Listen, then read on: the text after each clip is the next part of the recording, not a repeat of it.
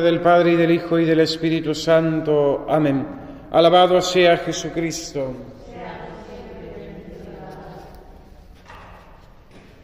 La palabra de Dios que la Iglesia nos ofrece en este día, lunes de la primera semana de Cuaresma, nos presenta dos momentos, dos momentos de la historia de Dios con el hombre, dos modos de actuar que se dan sucesivamente.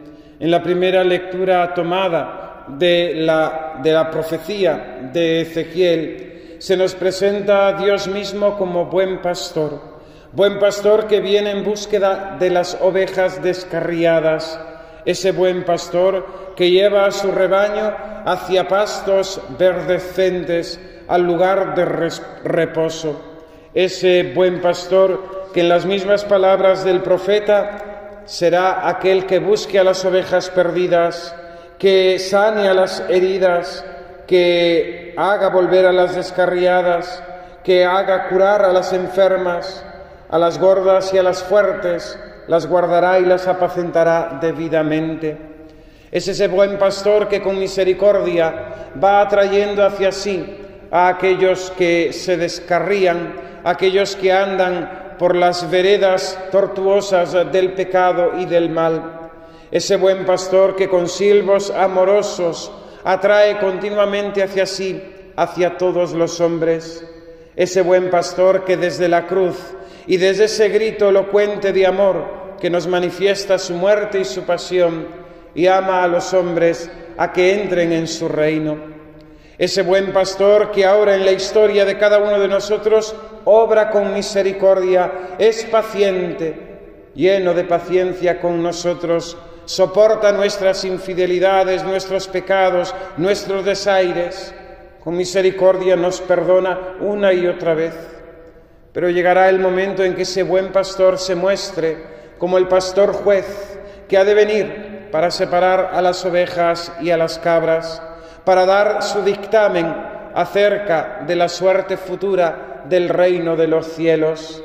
Es el Evangelio de San Mateo capítulo 25, cuando el Hijo del Hombre aparezca entre las nubes acompañado de sus ángeles para juzgar a los hombres, potestad que le pertenece a Cristo por ser Dios, por ser Rey, por ser el primogénito de toda criatura, por habernos rescatado de la muerte y del pecado entonces en ese momento se terminará la misericordia y comenzará la justicia, la justicia de Dios, que dará a cada uno lo que le pertenece.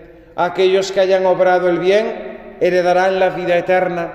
Aquellos que se hayan resistido a la gracia y que hayan obrado la iniquidad irán al fuego eterno. Muchos piensan que por eh, creer que esto no es así, que Jesucristo no va a venir a juzgar o pensar que Jesucristo va a ser un juez totalmente eh, indiferente ante el bien y el mal, todos se salvarán.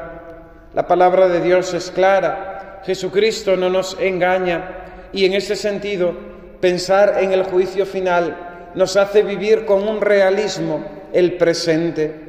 Habremos de dar cuentas a Dios de nuestra vida de cada segundo, de cada minuto, de cada hora, de cada año de nuestra existencia.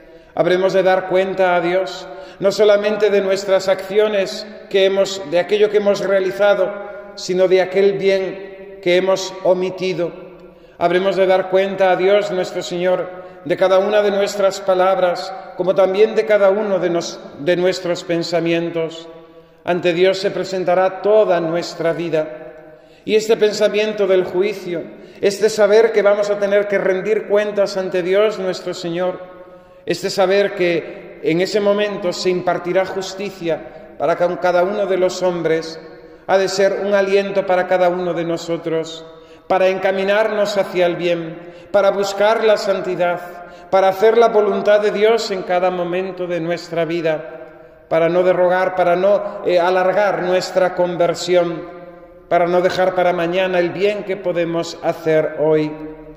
Es hermosísimo, es hermosísimo considerar el criterio de esta justicia divina, de este Jesucristo, buen pastor que separa a las ovejas de las cabras, que pone a los justos a su derecha y a los injustos a su izquierda.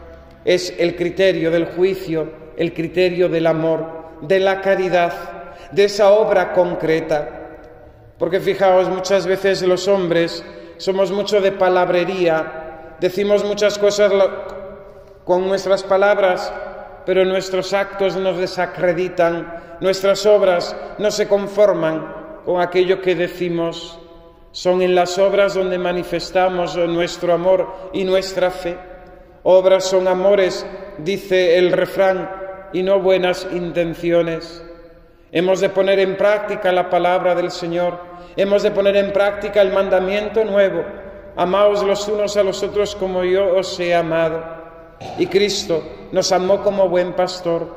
Vino en búsqueda de nosotros ovejas descarriadas, heridas por nuestros pecados, mal alimentadas, ovejas totalmente desorientadas.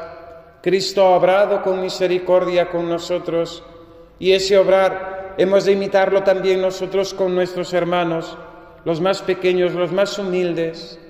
Cada vez que lo hicisteis con, uno de estos, mis humildes hermanos, conmigo lo hicisteis.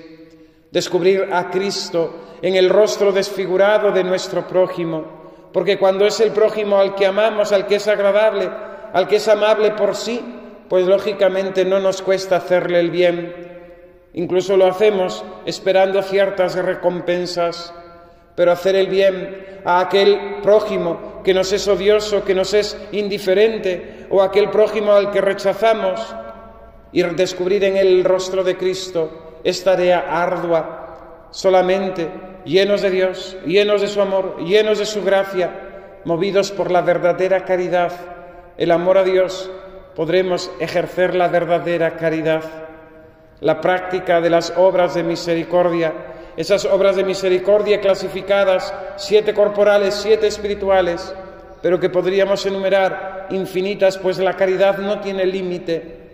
Es la forma de manifestar nuestro amor a Dios y nuestro amor al prójimo. Dice San Enrique de Oso que si la caridad a Dios y la caridad al hombre, al prójimo, brota de la misma fuente, Inmenso ha de ser nuestro amor a Dios, inmenso por tanto también ha de ser nuestro amor a nuestros hermanos.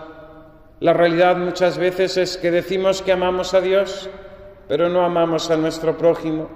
La verdad es que decimos que amamos mucho a Dios y en cambio nuestro amor al prójimo es raquítico. Inmenso ha de ser el amor a Dios, inmenso ha de ser el amor a nuestros hermanos. Que así sea. En el nombre del Padre y del Hijo y del Espíritu